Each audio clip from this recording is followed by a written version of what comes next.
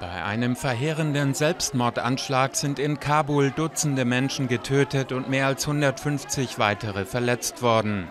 Ein Attentäter steuert einen mit Sprengstoff beladenen Rettungswagen ins streng bewachte Zentrum der afghanischen Hauptstadt. Zu dem Anschlag bekennen sich die radikal-islamischen Taliban. Sie hatten erst eine Woche zuvor ein Luxushotel in Kabul angegriffen. Nach Angaben des afghanischen Innenministeriums wird der Attentäter an einem ersten Kontrollpunkt zunächst durchgewunken. Als seine Absichten an einem zweiten Kontrollpunkt erkannt werden, sprengt er den Rettungswagen in die Luft.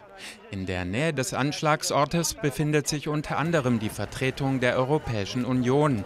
In Kabul hat die Zahl der Anschläge zuletzt stark zugenommen. Die Hauptstadt gilt inzwischen als einer der gefährlichsten Orte für Zivilisten in Afghanistan.